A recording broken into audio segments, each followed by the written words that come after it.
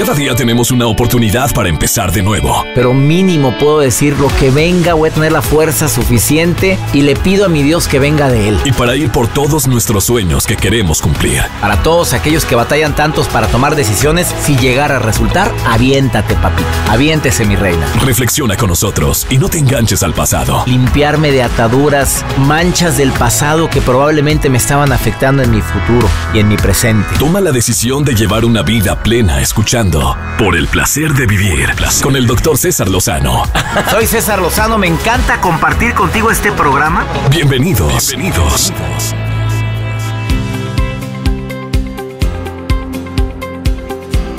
Pues nunca es tarde para decirle a todos los papás felicidades en su día. El Día del Padre fue celebrado este domingo en México y en otros países. Mi querida comunidad hispana, les saludo con todo mi cariño a toda la gente que me escucha en tantas partes, porque cada día somos más los que estamos en sintonía de por el placer de vivir. Gracias. El día de hoy yo sé que muchos padres pueden encontrarse a veces en situaciones diferentes, difíciles. Puede interpretar un hijo que su papá lo lastima porque es estricto una hija puede decir mi papá no me quiere porque no me da el permiso que le dije porque quiere que llegue a tal hora. El tema de hoy es cuando papá lastima. No me voy a meter a temas álgidos, difíciles, dolorosísimos, tremendos, terribles. Como por ejemplo cuando papá atenta en contra de la integridad de un hijo. Voy a hablar de cosas prácticas del día a día me acompaña Rayo Guzmán, autora de un libro que ya es bestseller, creo, que se llama como Cuando papá lastima. Ella sacó primero un libro que se llama Cuando mamá lastima y en base al éxito, pues la gente le decía, oye, ¿por qué nada más te orientaste a la mamá?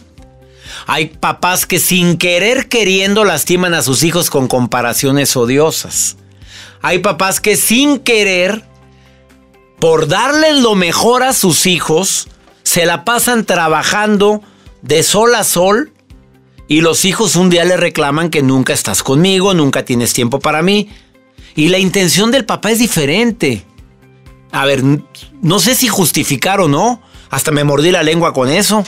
Bueno, ahorita porque no he viajado, no estoy de gira. Por situaciones que todos conocemos, he estado en casa, he estado transmitiendo. Por el placer de vivir desde la casa de ustedes. No he tomado un solo avión desde marzo 14. No hemos estado de gira nacional e internacional porque está todo esto pospuesto. Pero en su momento sí puede haberme dicho mi hija o mi hijo, oye papi, pues ya bájale tres rayitas, quiero que estés más aquí. Y uno con la mejor intención viaja y aparte por la misión de vida que tengo que me queda bien clarita cuál es. Hay ocasiones que papá lastima, con voluntad o sin voluntad. De eso vamos a hablar en el día de hoy en homenaje a los papás, sobre todo los papás que queremos ser mejores padres. A veces nos ven como superhéroes, pero no. Tenemos tantos defectos. Quédate conmigo. ¿Quieres ponerte en contacto? Más 52 81 28 610 170. Te quiero recomendar el taller de sanación emocional. Inscríbete ahora. Un taller que sanará las heridas del pasado que todavía, todavía te están doliendo en el presente la ruptura amorosa, la pérdida de un ser querido. Este taller es inolvidable. Envía un correo a tallerenlinea.com. Iniciamos primero de julio el taller de sanación emocional. Además de sesiones en vivo conmigo y sesiones en vivo con terapeutas. Así o más bonito. Taller en línea arroba Haz contacto directo con César Lozano. Facebook, Doctor César Lozano. Continuamos.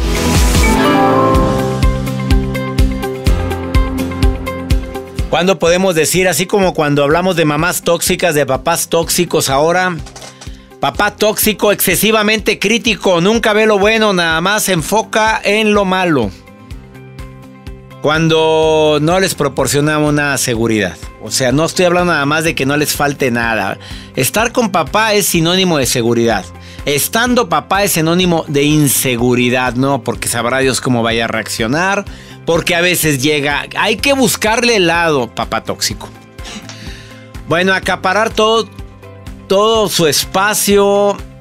Que quieran la atención al 100 Haz de cuenta que se les haga plesticía a los papás. Cuando hieren la sensibilidad de la gente que tanto los ama. Papá tóxico. Cuando no permites que tus hijos expresen lo que sienten, también es toxicidad. Obviamente hay señales que dicen de que papá es tóxico, pues un genio nunca está contento, nunca lo tienes contento, nunca te dice lo bueno, nunca te dedica tiempo, nunca hay tiempo para platicar con él y cuando platicas con él es regaño. Punto. Yo no sé qué tipo de papá tuviste, Anita. Ya falleció tu papito. ¿Cómo estás? Te saludo con gusto, Ana. Hola, César. Mucho gusto. Ya falleció eh, tu papá. Mi papá ya falleció y mi pregunta siempre desde pequeña fue el por qué yo odiaba a mi papá el que este, por el simple hecho de haber fallecido, el por qué lo odiaba yo. Ups, qué fuerte. ¿Y por qué? ¿Ya como adulto ya tienes la respuesta? Este, ya, yo creo que fue, bueno, yo según creo que fue porque sentí que me hizo falta esa presencia, o sea, el simple hecho de no tenerlo, a lo mejor no odiaba yo a la persona, sino que odiaba yo el hecho de no tenerlo. Esa es mi conclusión que hasta, bueno, que hoy en día que ya soy adulto, pues es lo que yo me respondí sola. ¿Qué edad tenía tu papito cuando falleció? Este, yo tenía siete años. ¿Y él? Y él tenía cuarenta. Uf, muy, murió muy joven, amiga, Anita, querida. Y obviamente tú, tú cuando hablaban de él, tú sentías odio, pero porque pues te hizo falta tu papá. Este, fíjate que lo que pasa que estuvo algo así como, digamos que raro. Lo que pasa es que yo, este, cuando se murió mi papá, este, yo como que este, no vivía ese duelo. Yo cuando falleció mi papá no vi cuando lo, este, lo enterraron, no vi cuando lo velaron, porque mi mamá no quiso evitar ese dolor. Y entonces dice, ¿saben qué? Dice, como tu papá va a estar acá atendido, mejor váyanse en otro lugar, cuando ustedes no vean todo lo que fue el proceso. Entonces, después cuando pasó el tiempo, yo pensaba que mi papá a lo mejor no estaba ni muerto, o sea, como que no lo asimilaba. No viviste el duelo, no, no, no tuviste la oportunidad de velar a tu papito. Entonces yo decía, a lo mejor este no murió. Yo tenía a lo mejor esa como esperanza, hasta que un día entendí que mi papá había muerto, pero yo lo odiaba a lo mejor por la ausencia. O sea, no era tanto a mi papá, sino que odiaba yo el no tenerlo. O sea, es decir, ¿por qué no tengo un papá? Y tanta gente que tiene a su papá y ni, le, ni caso le hace y hasta, hasta son groseros. ¿Estás de acuerdo conmigo, Anita? Sí, que, que no valoran a los papás, o sea, que los hijos somos, bueno, son cada día más rebeldes. yo siento que los hijos de hoy son cada día más mal agradecidos, o sea, no, no valoran. Fuerte declaración. Anita, gracias por haber estado en el programa y gracias por, por tus palabras, Ana. Gracias. Gracias, gracias, César. Bendiciones. Gracias. Señales de mala, de mala crianza, no hay reglas, hay más, más gritos, golpes que amor, no hay comunicación familiar. Angie, terapeuta, te saludo con gusto, gracias por ponerte en contacto en el placer de vivir, Angie, ¿cómo estás? Muy bien, doctor César, ¿cómo están todos por allá? Muy bien, ¿vive tu papito? No, no vive mi papá, ya tiene 32 años de muerto, pero bueno, este tema que acabo de escuchar y ahorita que estaba yo oyendo a, la persona que estaba hablando, efectivamente vivimos violencia y te voy a platicar una historia. Yo viví violencia con mi hijo, así, de esas violencias a donde él me golpeaba, me trataba mal, me ofendía. ¿Por qué? Porque se divorció su papá de mí cuando él era pequeño y vivió el niño bueno, situaciones difíciles, donde como fue creciendo los médicos y en las escuelas, eh, empezaron a que su hijo es un niño problema, que su hijo tiene esto, sí, lo que quieran, pero también a mi hijo le dañó. Entonces todo esto, bueno, conllevó a que, te soy honesta, llevé a mi hijo al Hospital Psiquiátrico de México, de niños, claro, de niños, y aprendí a sacar adelante a mi hijo sola. ¿Por qué? Porque como madre, si yo no ponía un hasta aquí o un alto, mi hijo iba a ser quizás delincuente, drogadicto, bueno, no sé a dónde iba a parar. Ahorita mi hijo tiene, 30, perdón, va a cumplir 28 años, tiene un hermoso bebé, una pareja que ama, que es responsable y él lo ha dicho ahorita. Yo no quiero ser como mi padre, no soporto a mi padre porque nunca vio por mí y lo odia. ¿sabes qué es eso? Yo le he dicho, no lo odies. Y dice él, bueno, no es tanto que lo odie, no soporto que un hombre no se responsabilizara de, de mí cuando era pequeño. Entonces todo eso lo viví, César, y ahorita yo trato y he tratado de ser una madre, mmm, ayudarles como madre, apoyarlos, no ponerme a su nivel, pero sí orientarlos. Y estoy sola, estoy sola porque yo padecí bulimia, bullying en la escuela. Qué, qué historia la tuya, Angie, y tu terapeuta con mayor razón. La resiliencia, resiliencia. Resiliencia, mujer más fuerte después del dolor. Y me siguen atacando, que soy honesta, ¿por qué? Porque soy médico de la risa, voy a hospitales, a personas con cáncer, niños y adultos que me han dicho gracias por darme esa sonrisa y se mueren en la noche. ¿Sabes qué es eso? Una alegría para mí dentro del dolor que se fueron sonriendo. Angie, querida, qué momento tan oportuno de tu llamada, Angie. Gracias por estar escuchando el programa. Me conmueves. Amo a los médicos de la risa. Adoro la labor que hacen porque una risa sana, y tú lo sabes mejor que nadie, Angie. Es la mejor medicina, más que todo. La mejor medicina. Yo soy la doctora Remedios Cura de la Esperanza y del Cucharón para servirle a serie quien se deja. ya, ya me hiciste reír. La doctora Remedios. Remedios. Empezando, empezando por mi nombre. Remedios. No, la doctora Remedios Cura de la Esperanza y del Cucharón para servirle hasta ella quien se deje. quien se deje. Angie, querida, me alegraste. Bendiciones. Gracias por esta llamada. Gracias a ti. Y sabes una cosa, te admiro. Te Yo te admiro a ti. Te escucho todos los días. A ver, Angie, quédate porque te quiero en un programa. Quiero que participes como especialista en un programa. ¿Te gustaría? Me encantaría, sería para mí lo más maravilloso del mundo. Gracias, te espero pronto me en el... Me hiciste el día, me hiciste el Tú día. a mí, Angie, querido, es terapeuta, y gracias por llamar, por estar escuchando el programa. Claro que te invitamos a participar en el programa, no cuelgues. No. Gracias. Gracias. Gracias. Que a ella me hizo el día a mí. Es que de veras, gracias a mi público. ¿De qué forma les digo gracias por... Primero por permitirme estar en tus hogares, en tu automóvil, en tu coche, en, haciendo ejercicio contigo. No te vayas, estás en el placer de vivir. Después de esta pausa platico con Rayo Guzmán que viene a hablar sobre este tema, cuando papá lastima. Es terapeuta también y autora del libro Cuando papá lastima, así se llama su libro. En vivo, César Lozano. Ya regresamos. No te enganches. Reflexiona y aprendamos más en Por el placer de vivir con el doctor César Lozano. Continuamos. Claro que este tipo de temas pueden llegar a, a doler, a molestar, a mover ciertas emociones que ya podríamos decir que, que están en cicatrización y eso creemos que están en cicatrización, pero no. Rayo Guzmán es autora de 2, 4, 6, 8, 10 libros. Cuando mamá lastima, cuando papá lastima, la vida después de mi ex. Tu princesa, tu princesa y yo sapo. Desde que abrí mis ojos en mis cinco sentidos, regalos para toda ocasión. Y autora de una novela, La mujer de ceniza y el hombre que no podía escribir. Rayo Guzmán, te saludo con gusto, ¿cómo estás? Bueno, estoy súper contenta de estar contigo, César. Qué gusto. El gusto es mío, mi querida Rayo. A ver, cuando papá lastima, tú eres autora de ese libro, que por cierto, muy vendido, eres escritora. Eres una mujer que le encanta plasmar en papel todo lo que ha aprendido en esta vida. ¿Escribiste este libro desde tu dolor, desde tu aprendizaje o del aprendizaje de la gente que ha convivido contigo?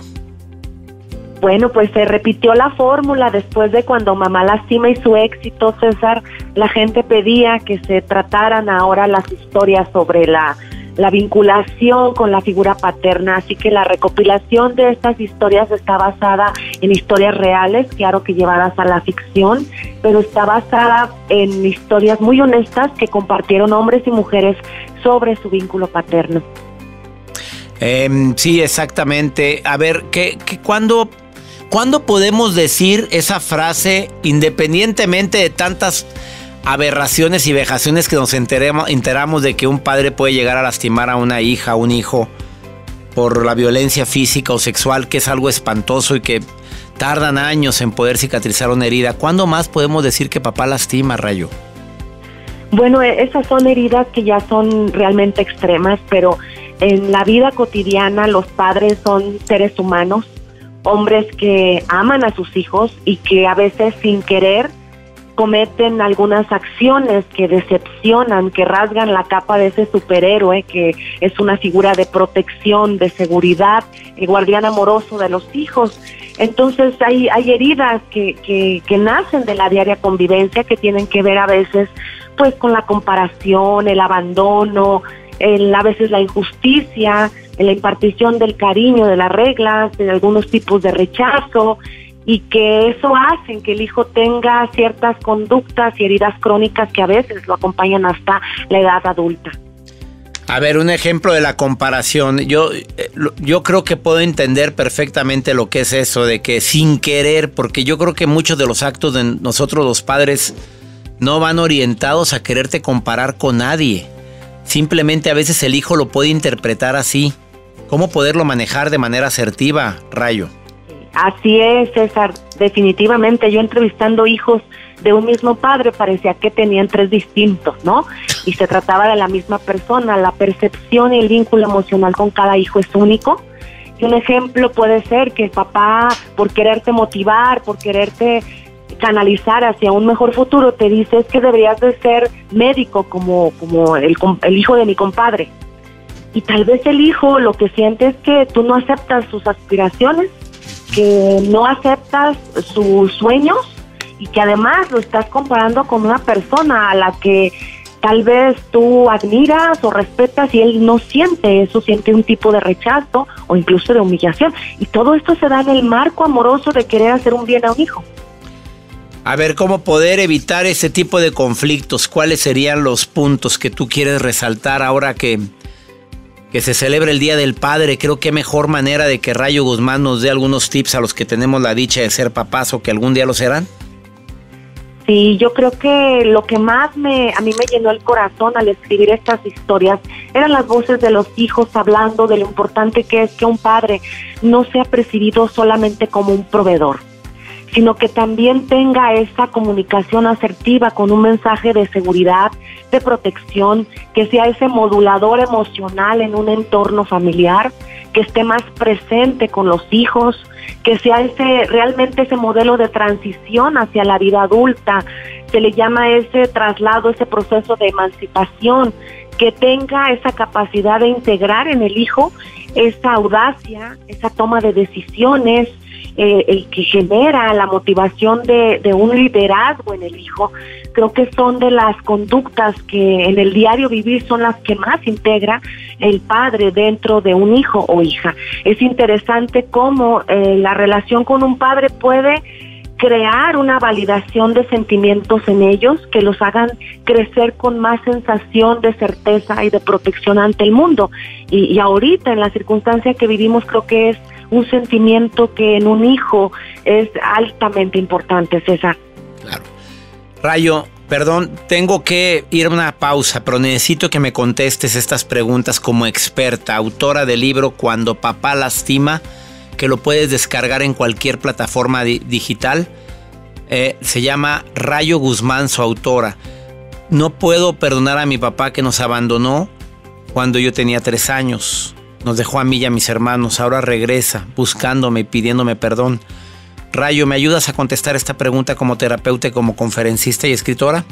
Y también, ¿qué es lo que más decepciona a un hijo de un padre? O sea, ¿qué es lo que más puede decepcionar a un hijo de esa figura de superhéroe, de ídolo que muchos tienen? ¿Y cómo nace la idea de escribir este libro? Me lo contestas después de esta pausa, Rayo Guzmán. ¿Te parece bien? Claro que sí, César. Rayo Guzmán, búsquenla así en Instagram. Rayo Guzmán, escritora, y en Facebook, Rayo Guzmán, es la única, la primera que aparece. Ahorita volvemos.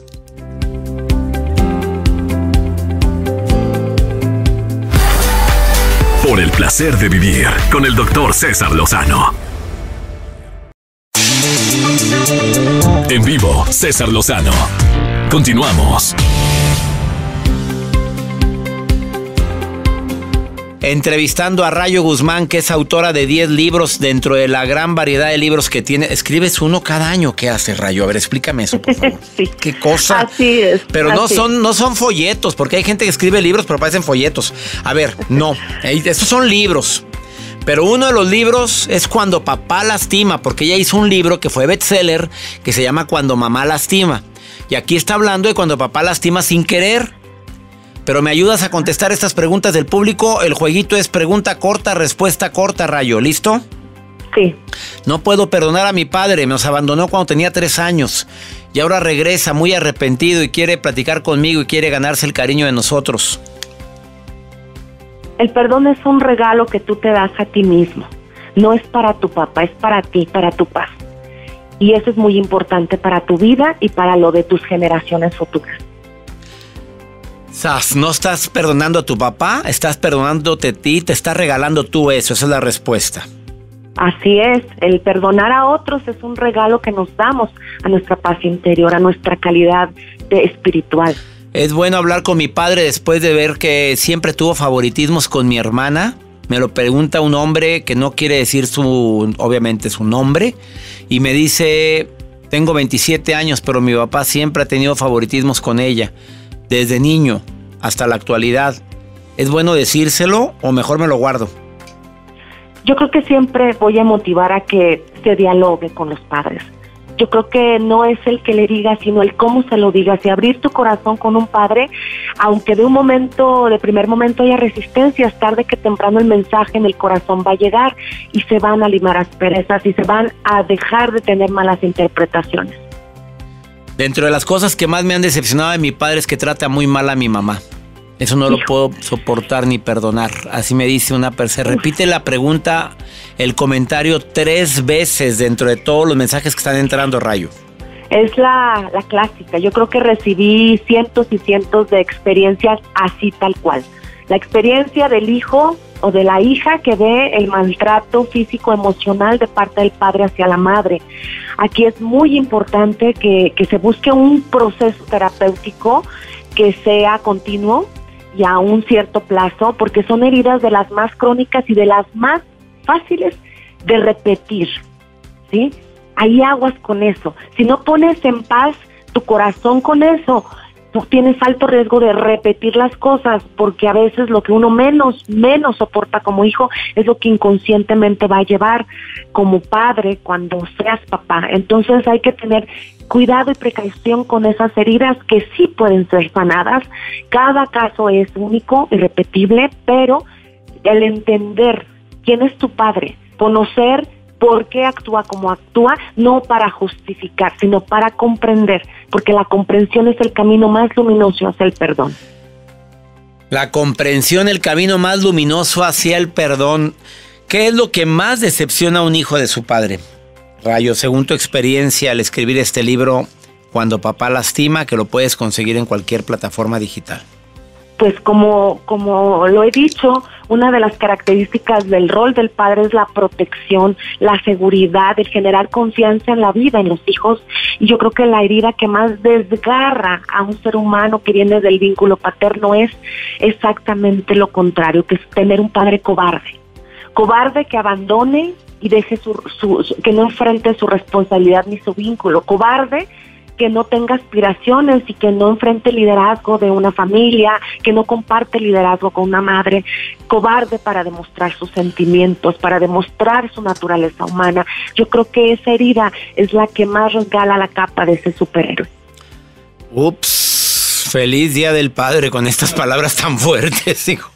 Digo, ¿qué, qué mejor regalo para el día del padre que poder tomar la, la, decisión más asertiva y más correcta de que voy a quitar esos hábitos que me están separando del amor de mis hijos. Así es. Rayo Así Guzmán, es, ¿algo más que te gustaría agregar? Se me acaba el tiempo. Pues nada más eh, motivar a, a los padres en estos momentos a que validen los sentimientos que sus hijos están pasando en estas circunstancias, que les generen mayor certeza en el futuro, eso el padre es el gran personaje familiar que nos va a generar esa certeza y esa audacia para enfrentar lo que venga. Y que les digan todos los días, todos los días, te amo a sus hijos. irrompible y permanente y ahora viendo tanta forma para estar en contacto con ellos, qué mejor.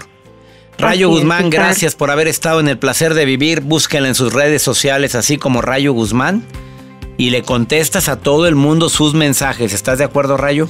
Ah, sí, claro que sí. Como de rayos. Como de rayo.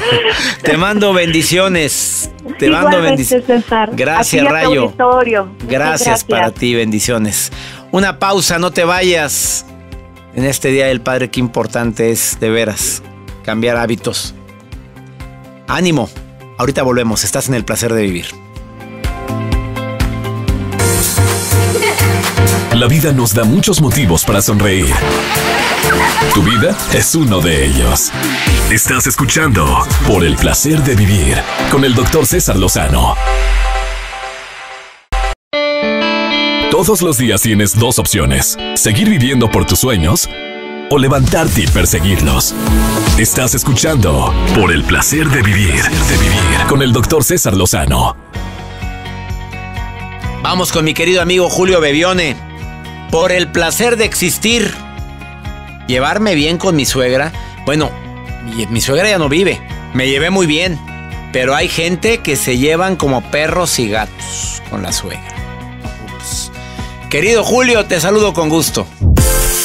Por el placer de vivir presenta. Por el placer de existir. Con Julio Bebione. Hola César. Feliz de estar compartiendo contigo otra vez y esta vez para responderle a María Clara. María Clara pregunta, ¿cómo podemos llevarnos bien ¿Cómo, puedo llevarme bien con mi suegra? La suegra. Este personaje que llega cada vez que nos enamoramos, porque siempre viene alguien detrás. A veces los recibimos como una bendición y a veces como su opuesto. Y decimos, ¿por qué tengo que estar con esta señora? Bueno, primero, entendiendo cuál es tu rol y cuál es el de ella. A veces, en este caso, puede que tu suegra no lo tenga claro y quiera intervenir en algunas cosas que tengan que ver con decisiones personales de ustedes como pareja. Pero cuando tienes claro tu rol, puedes tener claro también los permisos que das y los límites que pones. Y cuando los límites se ponen, ponen claros y se ponen más de una vez, te aseguro que tarde o temprano se respetan. Pero antes es importante entender cuál es tu rol en esa relación y cuál es el de ella. Y lo segundo, y creo que esto es más importante, es aceptándola. No siempre podemos gustar a todas las personas, pero sí estar en paz cuando vemos las diferencias, pero las podemos aceptar. Estoy seguro que lo que más te, perturba es que te gustaría que tu suegra fuera diferente o dijera otras cosas. Y seguramente es lo mismo que si ella está perturbada, le perturba de ti. Pero cuando aceptamos a las otras personas tal como son, es un tiempo, no es una decisión de un día para otro. Pero cuando vamos aceptando o dejando pasar, en función de y esto creo que es lo más importante, de que no pierdas la energía de amor que tienes para tu esposo. Cuando te enojas con alguien, en este caso tu suegra, no solamente tú lo pasas mal, sino que le estás dando un mal momento a tu esposo. Aceptando a tu suegra también es una buena, una buena manera, una buena forma de empezar a ser más amorosa con él. Insisto, es de un tiempo, es poco a poco, pero se logra. Gracias María Clara por tu pregunta, gracias César por este momento. Si quieren dejar sus preguntas lo pueden hacer en arroba bebione en mi Instagram o como Julio Bebione en Facebook y en Twitter. Hasta la próxima semana. Como siempre, excelente recomendación Julio Bebione, gracias. El taller de sanación emocional ya está inscripciones abiertas. Me encantaría que te inscribieras a este taller. Son siete módulos de una hora cada módulo. Se descargan dos por semana en tu celular, tu tablet, tu computadora. Además de tres sesiones en vivo conmigo y tres sesiones en vivo con terapeuta. Así o mejor. ¿Quieres inscribirte? Envía un correo a taller en línea arroba cesarlozano.com, pero mándalo ahorita. O si no, entra a cesarlozano.com mi página e inscríbete al taller de sanación emocional. Que mi Dios bendiga tus pasos, Él bendice tus decisiones. Recuerda, el problema no es lo que te pasa. La bronca es cómo reaccionas a lo que te pasa. Ánimo. Hasta la próxima. ¿Ya estás listo para alcanzar los objetivos que tienes en mente? Reflexiona con nosotros y no te enganches al pasado. Te esperamos en una emisión más de Por el placer de vivir con el doctor César Lozano.